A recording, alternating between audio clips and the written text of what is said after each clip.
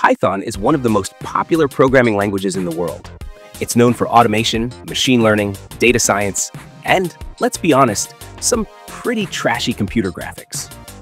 If you've ever tried drawing with Python's turtle module or played around with basic GUIs, you probably know what I mean. Python is easy to learn, incredibly versatile, and perfect for beginners. But here's something that might surprise you.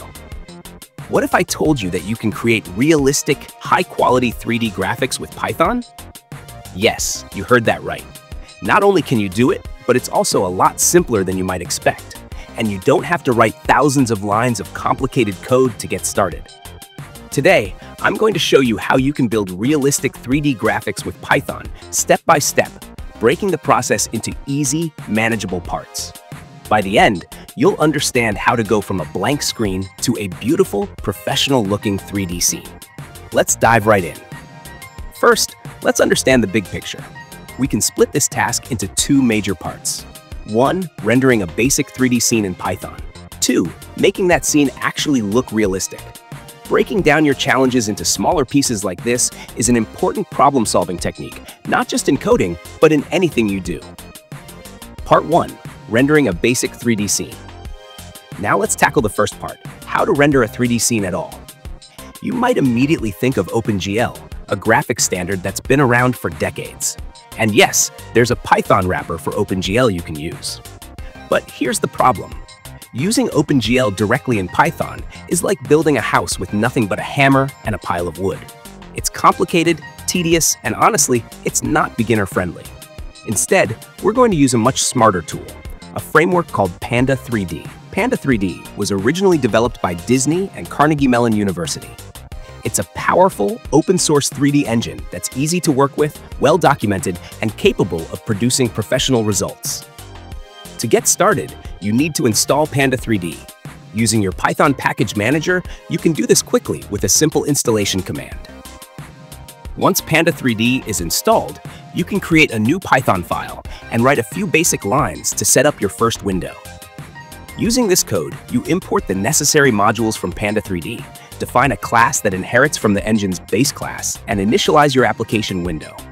If you run the script at this point, you'll see something amazing. A window opens.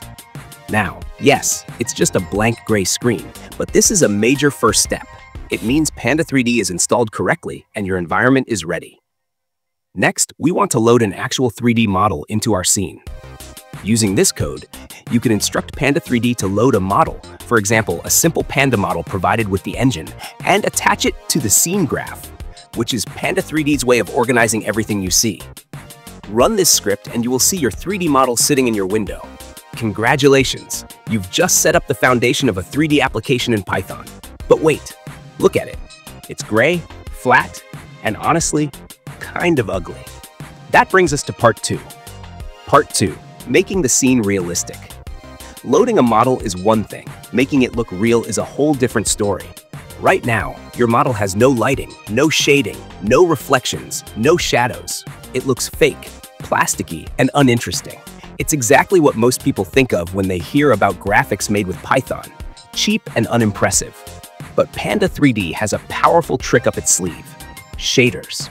Shaders are small programs that run directly on your computer's graphics card. They can simulate lighting, shadows, reflections, refractions, pretty much everything that makes computer graphics look convincing and beautiful.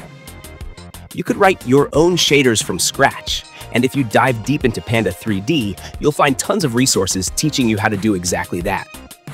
But for now, writing shaders manually is overkill. Instead, we're going to use a pre-built solution called Render Pipeline. Render Pipeline is an advanced graphics framework built on top of Panda 3D. It comes with a full set of professional shaders, including physically based rendering, real-time shadows, ambient occlusion, reflections, and more. Basically, Render Pipeline gives you realistic graphics with minimal setup. Here's how you can use it. First, you'll need to download the Render Pipeline project from GitHub. Follow the setup instructions carefully. Usually, it's just a matter of running a setup script and making sure you have the right dependencies installed. Once Render Pipeline is ready, move your Python script into the Render Pipeline project folder. Then, using this code, you import the Render Pipeline module, create a new pipeline object, and connect it to your Panda 3D application. When you run the script now, prepare to be amazed. Suddenly, your scene looks completely different. You'll see realistic shading, smooth shadows, crisp reflections, the kind of quality you'd expect from a high-end game engine, but built entirely with Python. Even better, performance remains fast and smooth because all the heavy lifting is handled efficiently by your GPU. In just a few simple steps, you went from a blank gray window to a fully realistic 3D scene.